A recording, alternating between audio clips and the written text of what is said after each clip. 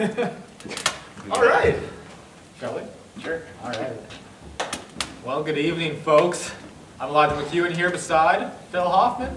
We're here at North on 29, right outside Carleton Place, Ontario. And today we've got with us an act performing here tonight, the one and only Hawksley Workman. Hello. Hello, welcome to LBC. Th- Thank you. What does LBC stand for? Live between commercials. Ah, That's what we are. Okay, okay, yeah, yeah, yeah. That's what we all are. We, Yeah. we're Our got a lives- fireplace here today. Oh, and yeah. That's just, oh, A lovely Make fireside chat. Lively. yeah.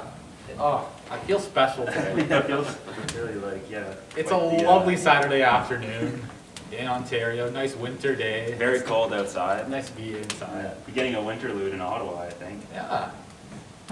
And here we are. Inside in Carleton Place. exactly. So Hawksley, we got a new album coming out here soon. Yeah. Do I ever? You're the first one that I've even mentioned anything about that. Another record.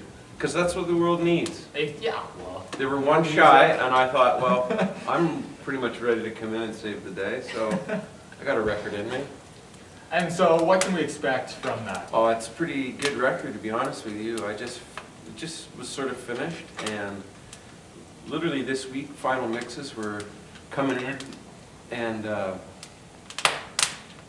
I, there's some songwriting, and there's some song making, and there's some, just, I think the record was a real chance for me to try and feel wild, you know? I think with Mounties, the other rock band I started in the last couple of years, I really felt a renewed vigor when it came to putting energy into music and this is record number 15 I think or 16 and you know it's that's a lot of records it's a lot of time spent you know in a silly business called the music business and so but the record will come out in May and we're already getting a full summer of festivals and the big Canadian tour will happen in the fall which is crazy like I don't know when people started making plans so far in advance, but it feels like it just was fall, and then now I'll be out on the road in fall. Oh, I know. is it different now dealing with it than it was as you were starting out? You, you mean emotionally dealing with it? And the, you know, the business Whole aspect to business it of too. Being more experienced. in Oh, yeah, business. and- well, the business has changed so much, as you, as ever, you know, that's sort of well known, that the music industry has suffered all sorts of growing pains with this new digital revolution that sort of led to proliferation of readily available downloading, and then now we're entering into a whole new realm of, um, of thievery called uh, music streaming, and so, yeah, it's interesting. I think that the longer you, you spend in the business, the more you realize that, you know, your resilience is really everything, and your willingness to kind of keep positive about the changing atmospheres and, and, and a willingness and a readiness to stay adaptable. Because I think, you know, what we've seen with the, with the, the record companies is they were absolutely these chunky, cumbersome things that had no ability to move or change with the times. So, yeah, I think as artists, you know, staying nimble and kind of feeling positive and keeping an open mind about how to proceed, that's sort of how, I think that's how the wise ones are moving forward. And has there been times where it's been difficult to make those uh, adaptations to change with the industry? It's definitely tiring. Like I think that a lot of the people in the business sort of feel like, like, you know, we're throwing our hands in the air because it's not just been about one change. It's not like, oh, you know, we were the manufacturers of cassette tapes, and then now, you know, we had a good run of, you know, 18 years, and now there's this thing called the CD, and it will have another good run of 18 or 20 years.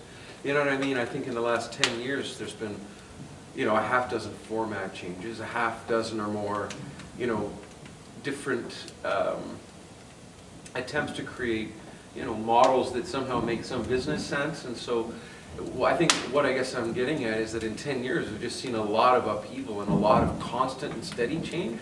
So I think in a way, the folks in the music business have not really had a chance to settle. So it's almost like no one has had the opportunity to sit, you know, on, on the couch and get fat, waiting for whatever the next sort of upheaval in the business has been. It's been a, a constant uh, decade of upheaval. So, uh, yeah, I mean, I, I think what I noticed for the, a lot of the folks who are surviving, and I sort of consider myself somewhat of a survivor, is that we've all stopped complaining about it because what was, you know, what was at the time appeared to be the big problem has now in hindsight turned into the red herring, and it's been a lot of that. Like, you know, I, everybody was up in arms about one thing for a while, and then it was another thing, and then it was another thing, and then it was another thing, and like I say now, I think we're all sort of waiting to see how the cookie crumbles on this streaming thing, and, you know, admittedly, I'm kind of a, I'm, I'm not interested in progress all that much, so all these newfangled ways of trading music, it, uh, none of it makes me excited at all, but that's because I'm more excited about people and about people's ideas and about growth and about, I don't know, trying as a, as a species to just get a little bit smarter and a little bit more uh, uh, compassionate. And so, um, touching on the, the growth and stuff, uh, and working with people, uh, do you think working on your new album, uh, after working with Mounties, uh, has that brought a new level to the new album? Totally. I mean, I, I, I made the record with Steve Bays, who's one of my guys in Mounties, and, and Ryan Dahle played on it as well, but it was really, um, I think I took that exuberant, childlike, boyish excitement that I've been able to sort of finagle out of this whole Mounties experience and channel it into new music. I don't think you, you, you get, you expect that, you know, when you're middle-aged, everything in the entertainment business is telling you you're too bloody old and too bloody funny looking, so get out of the way and let the new 18-year-old pretty person in, because it's a, you know, it's a visual-based medium. Yeah. So anyway, um, for some reason or another, I've been given this opportunity to feel all fresh and brand new again, and um, I'm hoping that that's how cycles just go. You know, I think that everybody has cycles in their life, whether it's cycles in your marriage or relationship cycles with your job or with your family. Like, there's always um, high points and low points, and I sort of feel right now I'm in a real love affair with the music business again and with my own music. And and two, you know, with making with writing the musical The God That Comes a few years ago and I toured the heck out of that for the last couple of years too. And kind of that continues to take me around the world. And this year it's slowed a little bit but we're still doing a good few weeks of it. And it's looking like we'll go to New Zealand, Australia, maybe Hong Kong.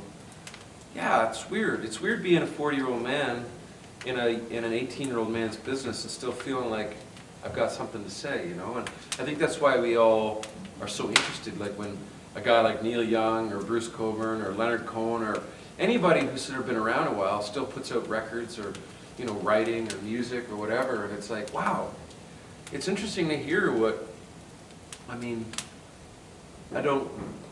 You know, if I was to turn on MuchMusic, as much as I grew up with MuchMusic and love it, it's not that music, the music that's on that TV show is not really aimed at me, it's aimed at a younger audience. And all the advertising that goes along with it is aimed at a younger audience. And so it's neat to hear what old men are saying, because I'm fast becoming one. So, as the last decade has gone on, you've had the chance to, you know, produce for some great Canadian artists. Yeah. You know, the Jeremy Fishers of the world, the Yeah. Great Big Seas. You know, I don't know why I'm pluralizing them. They're just, Yeah. but you, you know what I mean. They loom so large, it feels like there's more than just one of them. Yeah, exactly. Yeah. And so, what has that been able to bring to you, being able to work alongside other great musicians? Well, I'm really lucky like that, and um, when I started out, I started out as a drummer, wanting to be a drummer for hire. When I was a kid, that's all I dreamed of doing. And I practiced and practiced to become a great drummer, and when I moved to Toronto, you know, it became quick to, quickly clear that I wasn't, you can't make a living in the music business just doing one thing, so I realized I really had to keep my mind open and try to stay as diversely uh, busy as I possibly could. And but I think as a drummer, I got to work alongside a lot of interesting people, and in those early days, producing records and working alongside whether it was Skydiggers or those early years Tegan and Sara or Jason Collett. A lot of the, I worked alongside a lot of the broken social scene folks and um, uh, John Southworth and Spookey Ruben and Paul McLeod and all these incredible songwriters. So I really think that I, um, it was a real blessing to be able to have a little quiet position in alongside these really, really gifted people. And it allowed me to be right up close to them and see their processes and to, to really smell the essence of their struggles and all creative struggles and, and business-wise and stuff. But I think it allowed me to quietly be the drummer and watch with a bit of distance. And yeah, I was really great. I'm grateful for those early years. I was really lucky to spend a lot of time beside some pretty clever people. Well, some, of- I think, a lot more clever than me, so. I think it's a shame how little attention the Canadian music realm gets in the, you know, the la- large scheme of the world, because we've got great musicians here mm-hmm. who just don't get the recognition they deserve out there, and it's a, it's a true shame in the end. Well, it's just kind of what it is, you know, like, Yeah. Canada is a pretty small place when you judge it by its human population, and um, the thing with the human population is they're the only ones with, you know, with recognized currency to spend on things like, you know, nights out, and Exactly. record albums and concerts and stuff. So, you know, Canadians have never been, we've never had the population to support, um, you know, massive growing industries. We, it's no surprise that, you know, Walmart didn't come from Canada. and, You know, big corporate thinking isn't what, isn't necessarily what Canadians do. So as much as we're filled with, a you know, the country's filled with lots of talented people, our essence isn't sort of filled with the same kind of, um, what? Intensified commercial, uh, intensified commercial, uh. That's uh, intensive. drive. Yeah, that's what- So where, where we have all these smart people making music, we just don't have the business, the business machine in place. And so, you know, the, the UK and America will always sort of lead the, they'll always lead the way. And Do you think that uh, since Canada doesn't have that like big corporate mindset, there's kind of adds a certain charm to it, like the two for musicians that have to they work harder than and they like they know all of the different ways then. Yeah, I think that there's some truth to that. I mean, uh, in our, in Canada, we have some socialized help for musicians, and there's, there's, you can apply for grants from, you know, a handful of different government institutions, both on a federal and provincial level, and so there is help for Canadian musicians who maybe wouldn't be able to make it quite a go of it, but I do think that if, if you are a fan of a Canadian musician, you have to probably know in your gut that they have spent a long time suffering through, all, you know, all manner of bumps and bruises, so they're a resilient type person. So this uh, this episode that we're working on at LBC, this is our Oscar special, Oh, wow. and uh, yeah, we're you know let's glorify that a little more. Sure. Um, yeah, why not? it, it doesn't get enough attention. No. Yeah, yeah. No. but really, you've had the chance to work in a couple of movies. You, we've got Score, we've got Still Mine. Oh, Can yeah. you tell us the experiences that went along with those? Well, uh, making movies is pretty interesting. They move really, really slow. Uh, there's a lot of people involved. Um, it's very fascinating and strange, and uh, yeah, I mean, Canadian film is interesting too. I guess for me, I got to on the score movie, I got to. I wrote a lot of the soundtrack, or, or at least a quarter of it, I think, and then just by being around, they thought it might be fun to put me in the movie, and then that when I did the Still Mine movie, I had had like a few different scenes that most of the scenes I was in got cut except for one little bit of one, and so that's interesting when you show up for a day and do stuff like when you're the thing you do is not ended up Yeah. doesn't end up being used Yeah. again. In- In music, we don't have that very much. Like in movies, it's a lot about going out and gathering as many beaver pelts as you can and hoping that you're going to be able to piece together, you know, a garment large enough to keep you warm for winter. Whereas in music, like you're building with this sort of incremental approach where you're hearing how the song evolves with everything you add. It's like, well, I add one more guitar and then the song gets that much deeper. Add another voice and then all of a sudden the landscape of the, the sonic landscape starts to evolve into a way that you can really, you know, you can see grow as it happens. Where the movie, like, you do all of this reconnaissance and then you put it all together at a later date. And so I think a lot of the times, I think that be, having seen the process of movies now, when you see a, a real bad movie with that all by all accounts should have been good, good Yeah. cast, seemingly good writing, seemingly decent directing.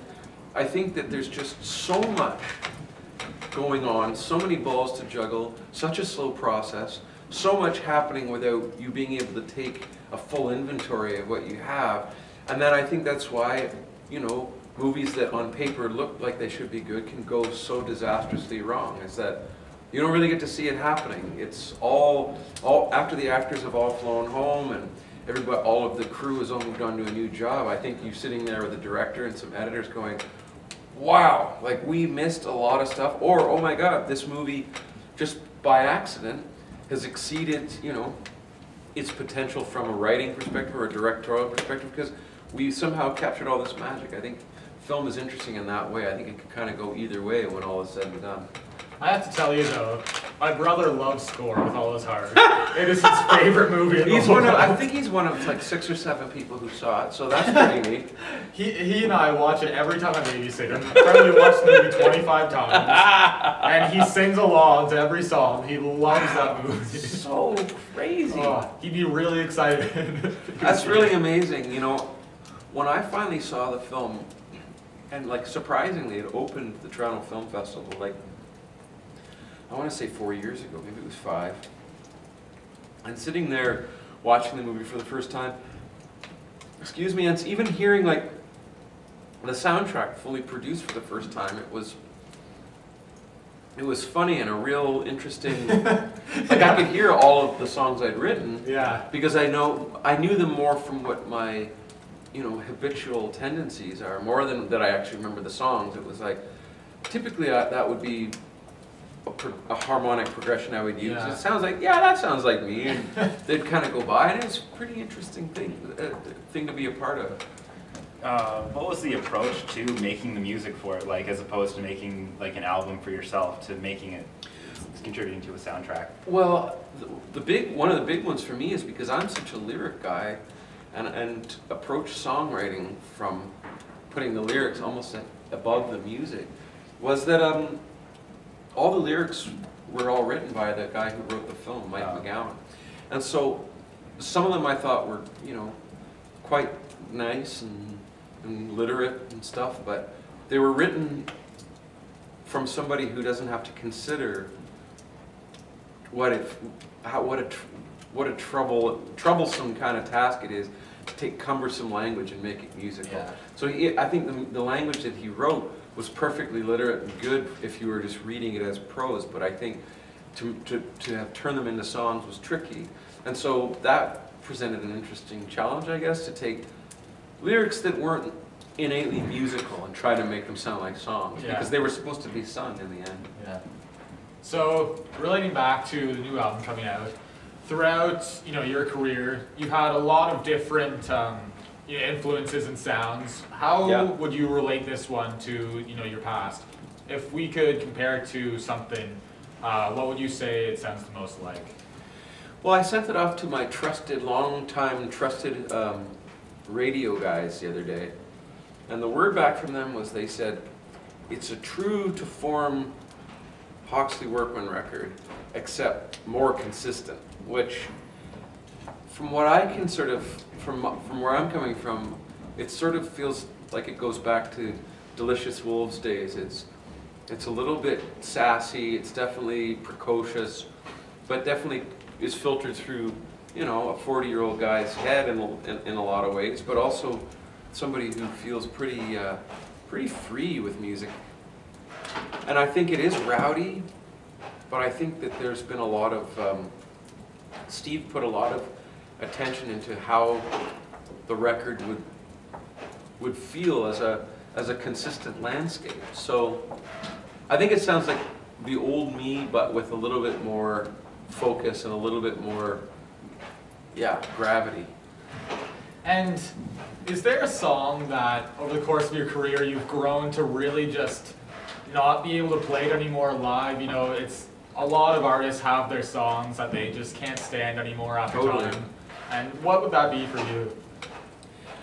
You know, I've always, whenever this question comes up in an interview that I'm watching of some other artist, and I hear them bellyache about how they don't want to play this, they don't want to play that, like, it seemed for a while there I was catching a lot of Shania Twain interviews, and all she was doing was bemoaning her loathsome career and how awful it was to be her. Horror. Yeah, Uh, and I've always thought, what a you can swear, it's okay. what a bunch of BS. But now that I've had, you know, 15 or 16 years, I must admit there are songs I don't care to play. And they are songs that, you know, paid a lot of my bills. And I must admit, playing striptease is still, some nights it feels really good. And a lot of it is, is that it's such a successful recording.